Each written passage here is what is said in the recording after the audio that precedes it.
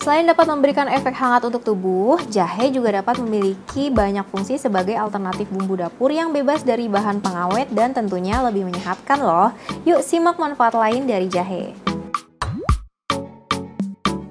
Manfaat jahe yang pertama adalah untuk bahan penyedap rasa di setiap masakan sehari-hari yang dikonsumsi.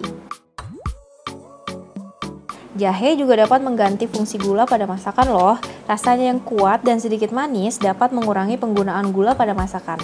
Dengan mengurangi konsumsi gula harian, maka kamu jadi mengurangi kadar gula darah dan membantu mengatur respons insulin pada penderita diabetes. Jadi lebih sehat deh. Yang ketiga, bahan minuman yang menyehatkan. Sasi lovers disarankan rutin mengkonsumsi olahan minuman jahe seperti wedang jahe, susu jahe, atau minuman lainnya. Air rebusan jahe yang ditambah sedikit lemon atau madu dipercaya ampuh untuk mengobati gangguan pencernaan dan berguna untuk menetralisir asam lambung.